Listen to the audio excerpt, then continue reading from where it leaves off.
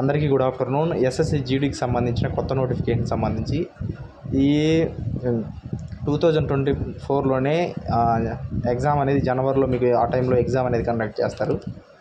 Notification అనేది November twenty fourth అని date ఇచ్చాడు కానీ ఆ డేట్ కంటే మీకు ముందుగానే మీకు నోటిఫికేషన్ అనేది రిలీజ్ అవుతుంది. సో ఇది నార్త్ వాళ్ళు ఆర్టీఐ వేశారు. మనం మనం కూడా ఆర్టీఐ వేసాము కానీ ఇంకా రాలేదు. రిప్లై వస్తుంది ఖచ్చితంగా అప్డేట్ టెలిగ్రామ్ ఛానల్లోనే ఫస్ట్ అప్డేట్ ఇస్తాను. సో ఇంకోటి ఏమంటే ఇప్పుడు సిఏపిఎఫ్ సంబంధించి సెంట్రల్ ఆర్మ్డ్ పోలీస్ ఫోర్సు తర్వాత సిటీజీడీకి సంబంధించి మెజారిటీగా కానిస్టేబుల్కి సంబంధించి వీటిలో అత్యధికంగా యాభై తొమ్మిది వేల పైన పోస్టులు ఓన్లీ జీడీ కానిస్టేబుల్ మాత్రమే నోటిఫికేషన్ వస్తుంది. ఎస్ఐజీడీ ఆల్రెడీ సిఏ సిపిఓకి సంబంధించి ఆల్రెడీ నోటిఫికేషన్ ఇచ్చేసాడు ప్రాసెస్ జరుగుతుంది అది. అసిస్టెంట్ కమాండర్ మాత్రం అసిస్టెంట్ కమాండెంట్కి మాత్రం అది కొంత నోటిఫికేషన్ అయితే ఇంకా అప్డేట్ రాలేదు. దాని గురించి ప్రాసెస్ అనేది ఇంకా ఏం క్లారిటీ అయితే లేదనమాట ఇప్పుడు మొత్తం పోస్టులన్నీ కలిపి ఇన్ని ఉన్నాయి అని చెప్పాడు.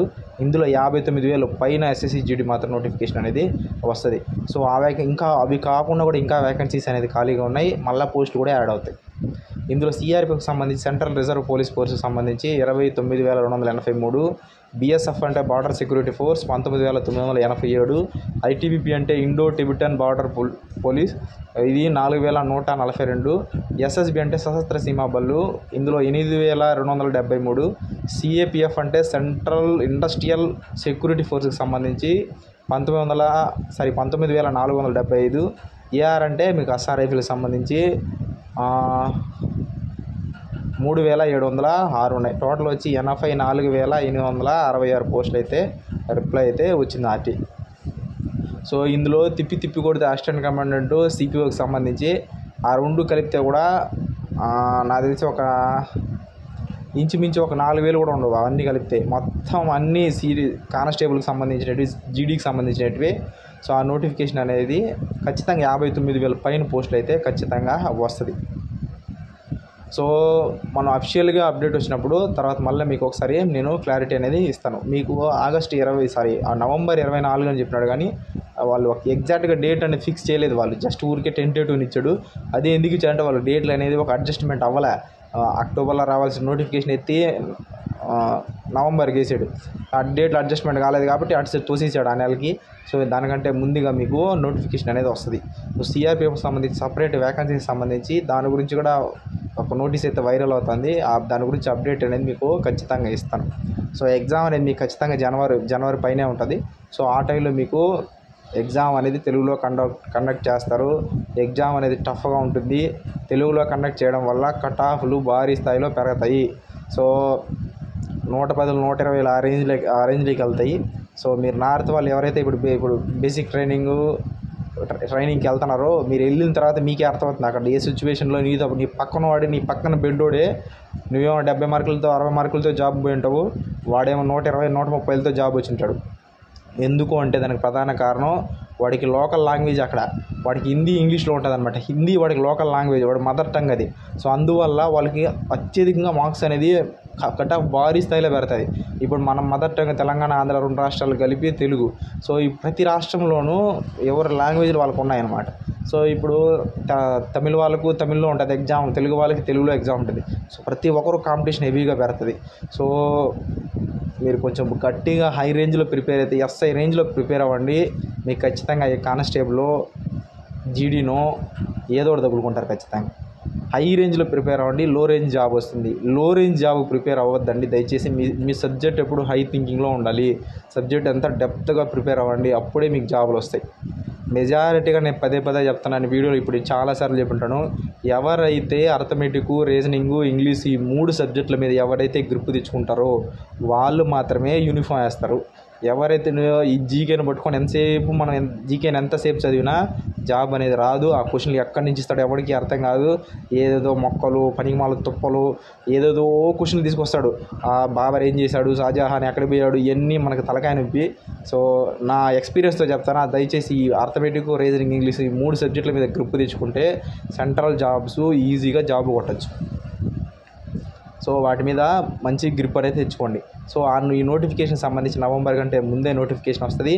ఆ నోటిఫికేషన్ ఇంకో వారం ముందే వస్తుందనగా ముందే మీకు అప్డేట్ అనేది ఇస్తాను. సో మీకు ఇందులో మీకు అర్థమైందని నేను అనుకుంటున్నాను. సో మళ్ళీ నెక్స్ట్ వీడియో ఎప్పుడు చేస్తానో నాకు తెలీదు. సో నెక్స్ట్ వేరే ఏదైనా అప్డేట్ వస్తే అప్పుడే వీడియో అనేది చేస్తాను. ఒక్కటి మాత్రం గుర్తుపెట్టుకోండి. మీ చేతిలో పర్ఫెక్ట్ సబ్జెక్ట్ ఉంటే మీరు కష్టపడితే ఖచ్చితంగా ఏదో దాంట్లో జాబ్ వస్తుంది ఖచ్చితంగా. అది జీడీ కావచ్చు లేకపోతే ఆర్పిఎఫ్ కావచ్చు లేకపోతే రైల్వే కావచ్చు ఏదో ఒకటి తెలంగాణనో ఆంధ్రానో కానిస్టేబుల్ ఎస్ఐయో లేకపోతే ఏదో ఒకటి ఏదో ఒక రూపంలో ఖచ్చితంగా మీకు అవకాశం అనేది దొరుకుతుంది. కానీ మీరు పర్టికులర్గా హండ్రెడ్ పర్సెంట్ కష్టపడాలి కష్టపడాలి. అది ఎలా కష్టపడాలో కూడా చెప్తాను నేను. ఫోన్ స్విచ్ ఆఫ్ చేయాలి ఏదైనా మంచి ఇన్స్టిట్యూట్కి వెళ్ళండి ఆన్లైన్ కోచింగ్ తీసుకోబాకండి ఆన్లైన్ కోచింగ్ సెట్ అవ్వు. సరైన ఇన్స్టిట్యూట్ని వెతుక్కండి వెతకండి ఖచ్చితంగా ఎక్కడో చోట ఎవరో ఒకరు చెప్తా ఉంటారు. ఆంధ్రాలో అయితే ఖచ్చితంగా శ్యామ్ ఇన్స్టిట్యూట్ ఉంది. ఇంకా రకరకాల మంచి మంచి ఇన్స్టిట్యూట్ ఇంకా కూడా ఉండొచ్చు మేబీ.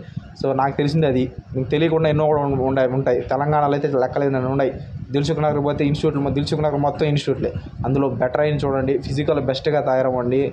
ఫిజికల్ కొంచెం బాగా తయారవ్వండి. ఎందుకంటే ఫిజికల్లోనే ఎక్కువగా వందలో సిక్స్టీ పర్సెంట్ సెవెంటీ పర్సెంట్ ఫిజికల్లోనే ఎగిరిపోతారు ఎగ్జామ్లో ఏమో టాప్లో ఉంటాడు. ఆ రన్నింగ్లో ఏమో ఫెయిల్ అయిపోతాడు. రన్నింగ్లో ఏమో టాప్లో ఉంటాడు. ఎగ్జామ్లో ఏమో ఫెయిల్ అయిపోయింటాడు. సో ఇలాంటి డిఫరెన్స్ ఉంటాయి. ఆ డిఫరెన్స్ మీరు అధిగమించాలి అని అంటే మీరు ఖచ్చితంగా రెండింటిని మేనేజ్ చేసుకుంటూ పోవాలన్నమాట. సో పోయినసారి ఎవరైతే దేంట్లో అయితే పోయిందో దాన్ని మళ్ళీ చేసిన తప్పుని మళ్ళీ అదే తప్పుని మళ్ళీ రిపీట్ చేయకుండా ఆ తప్పుని క్లియర్ చేసుకొని ముందుకు వెళ్ళడానికి ట్రై చేయండి. సో మీరు సబ్జెక్ట్ బాగా నేర్చుకోండి ఫస్ట్ ఆఫ్ ఆల్. జాబ్ అనేది ఆటోమేటిక్గా వస్తుంది. ఈరోజు కావచ్చు రేపు కావచ్చు మొన్నటి కావచ్చు ఏదో ఒక రోజు మీరు కష్టపడితే మీ సక్సెస్ అనేది పోస్ట్ పోన్ అవుతుంది. నేను ఆల్రెడీ ఒకసారి చెప్పాను ఇది జస్ట్ ఇప్పుడు ఎవరైతే ఫెయిల్ అయ్యారో మీరు నిజాయితీ నిజాయితీ కష్టపడి ఉంటే మాత్రం మీ సక్సెస్ అనేది పోస్ట్ పోయినది అంతే. ఈ రోజు రావాల్సిన ఉద్యోగం రేపు మొన్నడు తగులుతుంది. అది ఆరు నెలలు అవ్వచ్చు నాలుగు నెలలు అవ్వచ్చు సంవత్సరం అవ్వచ్చు రెండు సంవత్సరాలు ఏదో ఒక రోజు నీ జాబ్ అనేది నీకు హండ్రెడ్ పర్సెంట్ వస్తుంది. కానీ నువ్వు అప్పటి వరకు నువ్వు పట్టు వాళ్ళు ఎక్కడ మార్కులాగా పట్టుకోవాలి అంతే. అది ఎట్టయినా ఎన్ని కష్టాలు రాని ఏమన్నారా నీ డబ్బులు లేకపోని నువ్వు కూలి పనికి పో ఇంకో పనికి పో ఏ పనికి పో. కానీ నువ్వు చదువుని మాత్రం వదలకూడదు రన్నింగ్ అనేది వదలకూడదు. రన్నింగ్ ఎలా పరిగెట్టాలంటే నేను చెప్తాను మీకు ఒకసారి. నేను ఆల్రెడీ నా గురించి నేను చెప్పాను ఒకసారి. ప్రత్యేక నా గురించి చెప్పుకోవడం వల్ల నో యూజ్ కాబట్టి. సో ఎవరైనా బెస్ట్ రన్నర్స్ ఎవరైనా ఉంటే వాళ్ళని అడగండి ఎలా రన్నింగ్ పరిగెత్తాలో. కానీ నేను చెప్తాను ఆ ట్రి టిప్స్ ఎలా రన్నింగ్ పరిగెత్తాలో. మీరు నేను చెప్పింది చెప్పినట్టుగా పరిగెడితే చాలు. మీరు వద్దన్న ఐదు కిలోమీటరు పద్దెనిమిది పంతొమ్మిది నిమిషాలు వేసేస్తారు. సో దానికి మీరు ప్రాక్టీస్ అనమాట పొద్దునే సాయంత్రం పొద్దున్న సాయంత్రం ప్రాక్టీస్ ప్రాక్టీస్ ప్రాక్టీస్ టైం వచ్చినప్పుడు ఆ టైం వచ్చినప్పుడు నేనే మీకు ఫిజికల్ గురించి ఎలా పరిగెత్తాలో నేను చెప్తాను. సో ఎట్టి పరిస్థితుల్లో నెగ్లెక్ట్ చేయబాకండి ఎక్కువగా ఫోన్లో పడబాకండి ఫోన్లే మిమ్మల్ని దెబ్బతీస్తాయి. ఫోన్కి ఎంత దూరంగా ఉంటే అంత మంచిది. సో ఇది నేను చెప్పాలనుకున్నది వీడియో నచ్చితే లైక్ చేయండి. నచ్చకపోతే సబ్స్క్రైబ్ కూడా లైక్ కూడా చేయద్దండి.